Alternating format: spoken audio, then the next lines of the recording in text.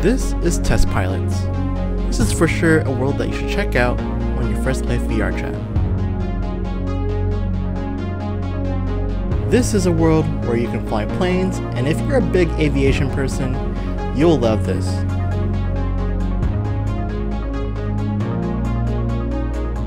Have fun and have a lovely new year.